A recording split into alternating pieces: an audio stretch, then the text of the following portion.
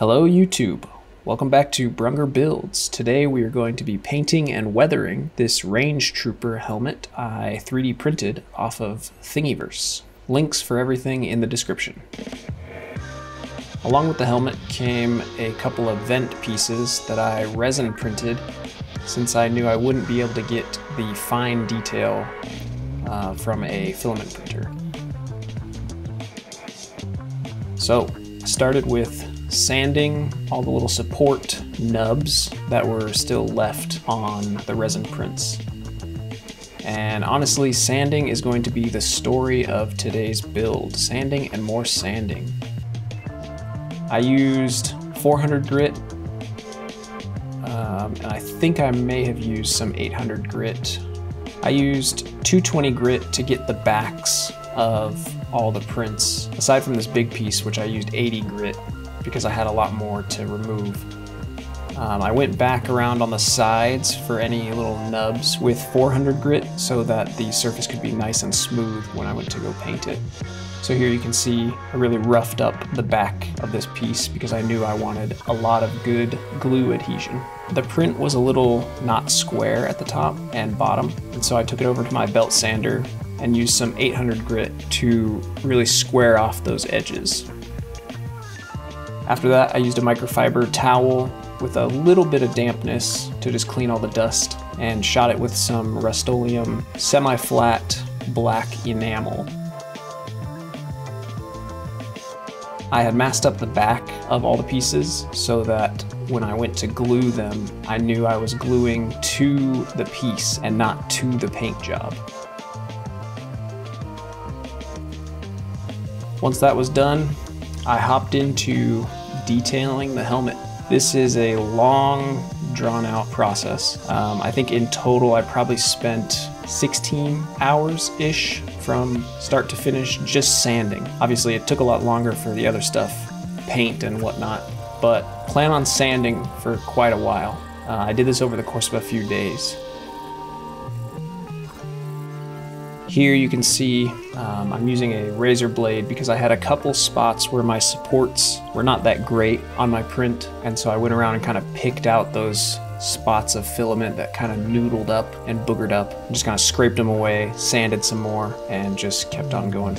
Going into these projects, you always know there's going to be a lot of detail work, but it never quite hits you just how much detail work there is until you're knee deep in it. There's so many little curves and square angles that you got to be careful about. There's little filament boogers here and there, everywhere. You really just got to be very thorough and methodical. Um, I used, I think 180, maybe 220 grit sandpaper to just knock off um, some of the high points. I was fortunate that I didn't have a bunch of obvious layer lines like some filament prints get. And so I just kind of knocked off what I could with that sandpaper. Here you can see on the brow of the helmet, I had some really bad noodling from the filament. Um, my supports were not great here, but uh, I just took a nice sharp wide chisel and slowly and carefully kind of picked all those loose noodles of filament out of there. Just making sure to stay flat and level with that chisel and sanding here and there, chiseling here and there, getting it as flat as I could, knowing that I was gonna come back over it with wood putty and fill in all those divots and holes and gaps and good stuff. I think I hit it with 80 grit on the brim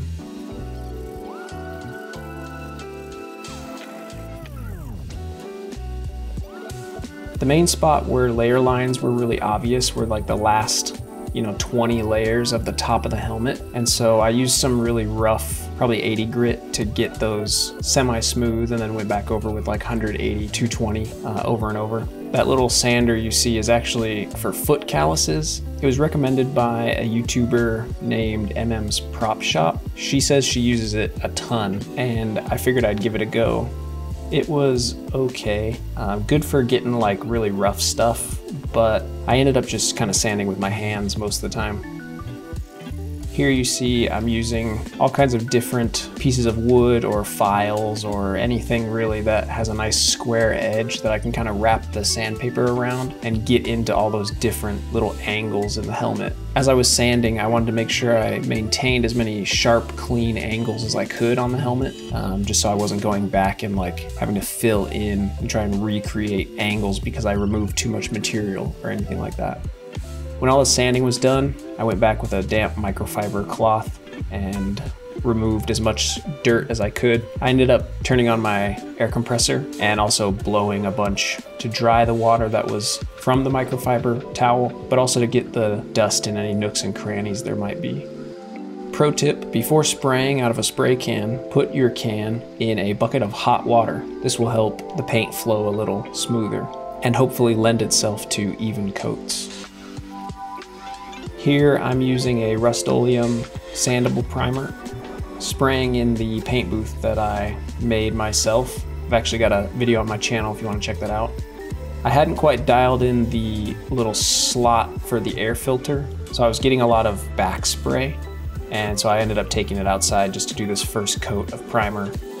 I ended up getting that sorted out, and for the most part, the rest was painted in my little paint booth.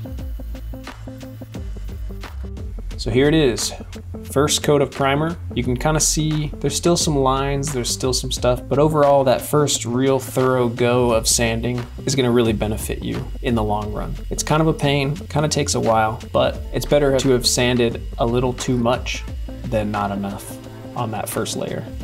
So here I went back over the primer with 220 grit, um, sanding with a real delicate hand, just kind of going over the entire thing, knocking all those high points off. I went through on all the fine details and sanded almost all of the primer out of all those creases and crevices in the helmet. I wanted to make sure that as I primed over and over, that the detail in these lines were not lost. Here I'm doing my layer of wood filler a lot of people use Bondo. Uh, Um, I kind of decided I didn't want to have to deal with the hassle of wearing a respirator, worrying about that Bondo dust floating all around my garage. So I went with this wood filler and I really liked it. It was easy to remove for the most part and sanded really well. And so I have no complaints. I do think I kind of shot myself in the foot a bit and went a little too heavy overall with the filler. If I were to do this again, I would kind of scrape a bit more off while it was wet. I wanted to make sure that all the layer lines were filled in, but I still think I went a little overboard. Over here next to the visor had some tear out. I think when I pulled the supports out, I wasn't very careful and I probably ripped those spots. So I went back through with some HVAC tape.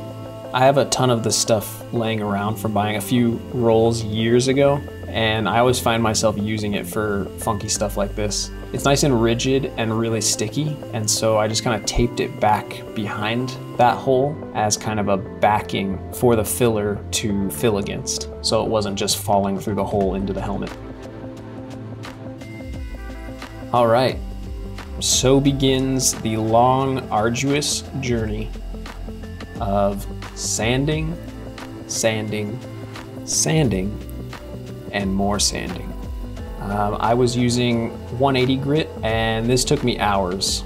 And I did it over the course of two days, I believe. You can see that I removed a ton of that wood filler. And so I really did not need to coat that thing as much as I did. But you live and you learn. Here is what I had accomplished the first night. After I had finished the majority of the helmet sand, I went back through on all the little details where I knew I was gonna square off some edges or make the little rounds on the back of this helmet a bit cleaner. The helmet printed pretty good, but there were some little spots here and there that I knew that if I just filled it in with a bit more wood filler, that I could kind of go back through sanding really carefully and kind of square things off, round things off, and make things look a bit less like plastic and a bit more like a real Stormtrooper helmet. Here I'm regretting my decision to just kind of throw filler into that little nook and cranny bit of the visor. I went in and I used a tiny little file, a tiny little piece of sandpaper, and kind of wished my past self had thought about how much trouble future self would be in uh, with that much filler stuck into those crannies. So here you can see these little round bits. The bottom side of them are square or meant to be square, and the top is kind of an oval. But each little divot is not quite square um, on the bottom and it's not quite square to the surface of the helmet either.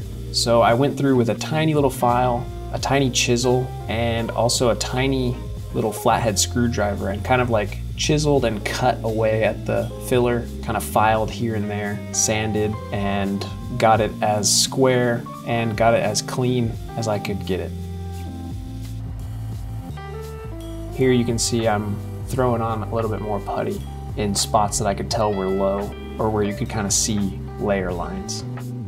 And here it is after the first major sand. Like I said, I removed a ton of that wood filler, and so I really wish that I had been a bit more conservative putting it on, but next time I'll know better.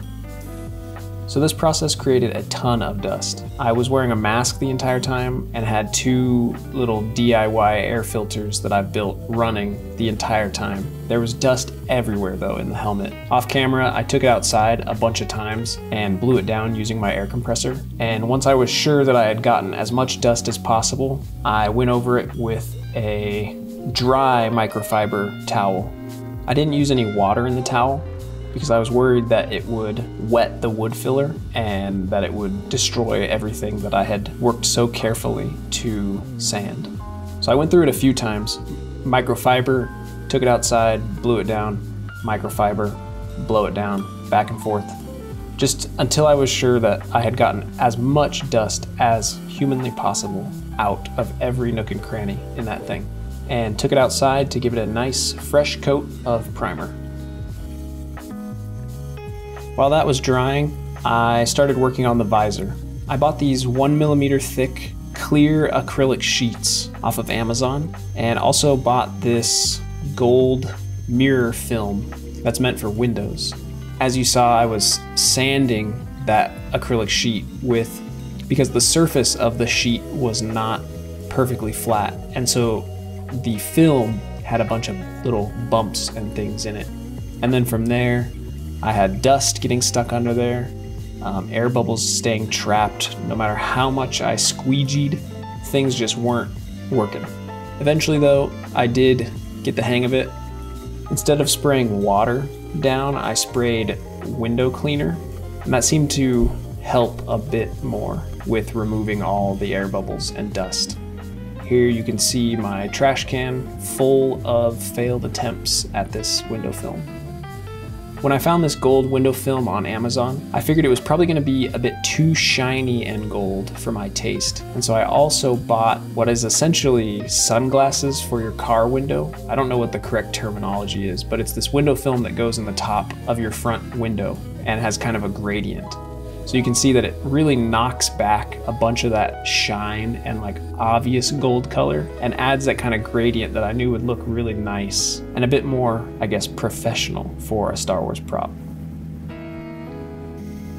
So here I am just tracing out uh, a piece of tape. So I knew kind of the basic shape of the visor.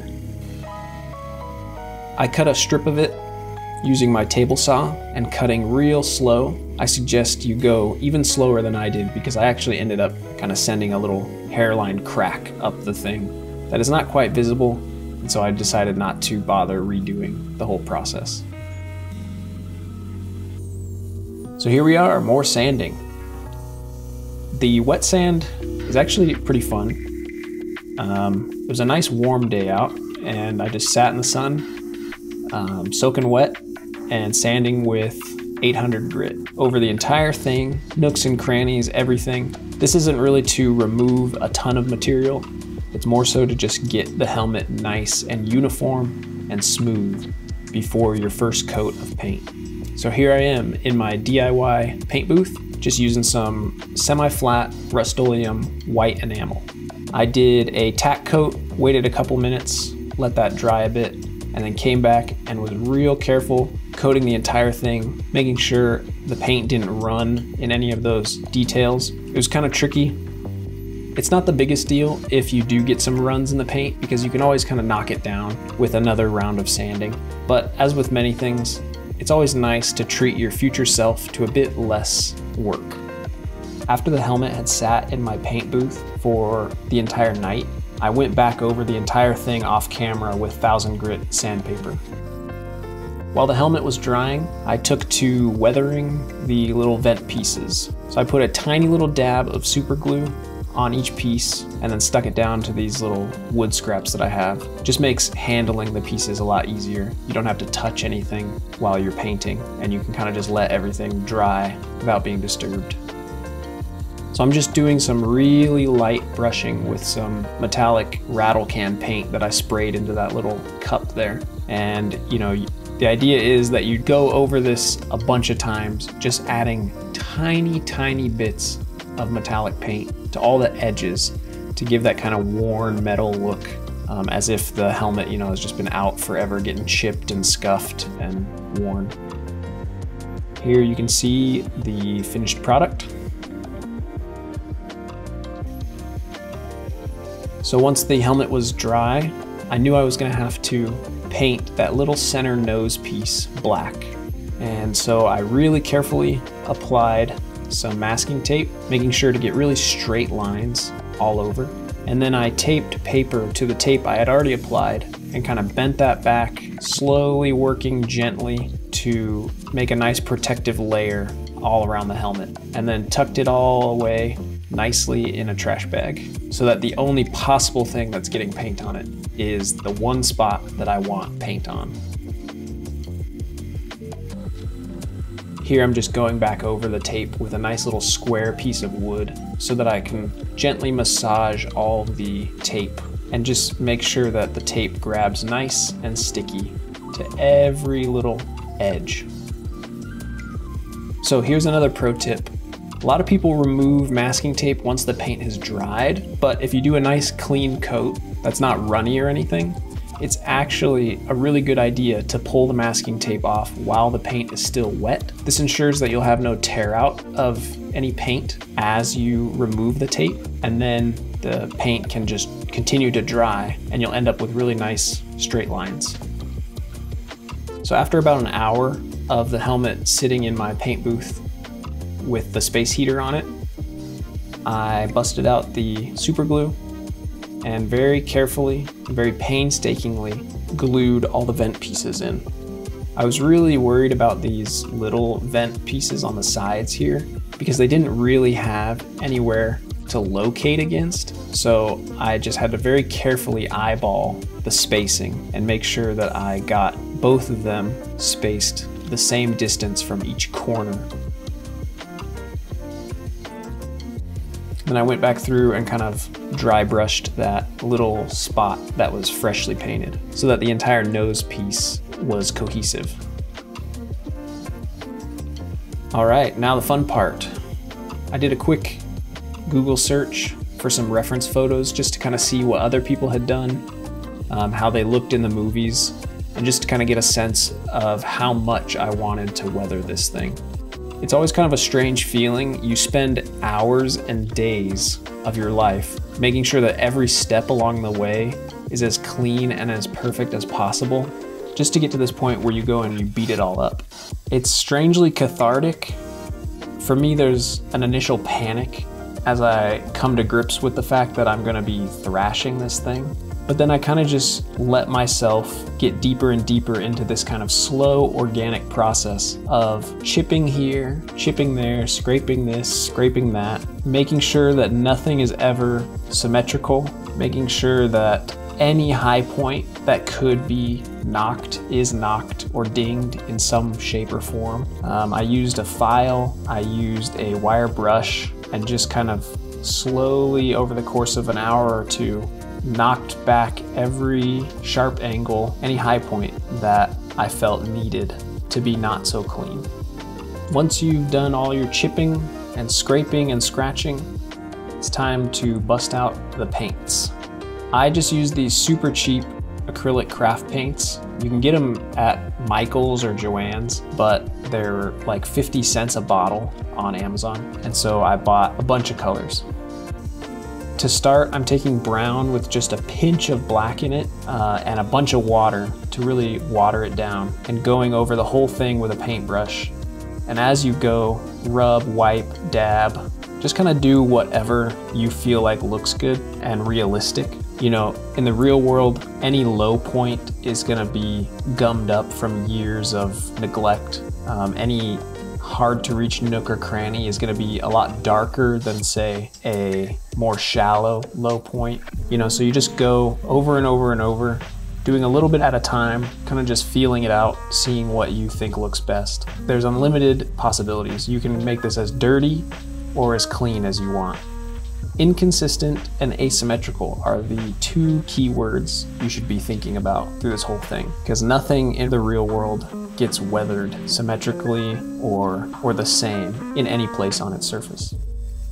So once I was done with the black and brown wash, I mixed up some orange and brown into a really kind of nasty rust color and went into all the low points and even some high points really, just dabbing here and there gently with a little sponge that I had at the end of my tweezers.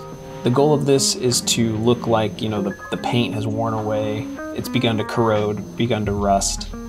And so for my preference, if the acrylic paint, you know, doesn't come away completely and kind of just stays in these nooks and crannies and gets really gummy and thick, that's totally fine. Uh, that's gonna really kind of sell that look of corrosion and rust. Almost like this filth has just been building up over the years in all these crevices. So yeah, just kind of going back and forth between applying this sort of thick rust color and then this wash. Dabbing or rubbing, depending on whatever I want the final result to be. And once that was done, I let it dry overnight and, and started working on the visor again. I used a heat gun to kind of shape it roughly into the shape that I needed, and then retraced the outline of the eye hole. Off camera, I cut the strip of acrylic sheet to vaguely the right size. It's uh, a little bigger than it than the actual eye holes because you need it to kind of sit inside the helmet and not go anywhere once it's in place. So again, I just use this HVAC tape. It's really sticky, pretty tough, you give it some relief cuts so that it doesn't tear and it kind of can just fold over any shape or angle that you need. So I just went through, taped every spot. I was originally going to glue this, but decided it was much less of a hassle to just tape it. Like I said, I had cracked the acrylic sheet when I cut it a little too quickly. And so I knew that if one of these days I wanted to go back and replace it, I could very easily. The last thing I did was put a little tiny strip of foam weather adhesive so that the edge of the acrylic sheet would not be cutting into anybody's nose. And then that was that.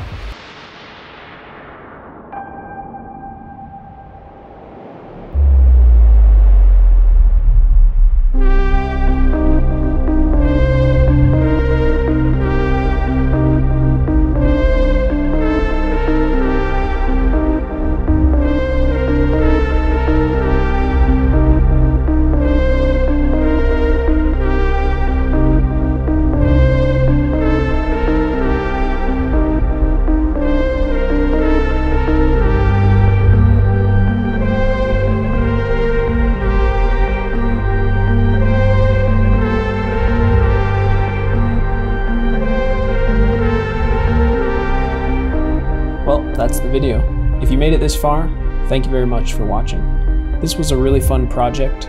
I've been building and tinkering with things my whole life, but I'm a total beginner to this kind of prop building. So if I can do it, you can do it. I hope that this inspires you. I hope this was a fun watch for you, and I hope you come back for more. I look forward to seeing you again next week. Have a good day.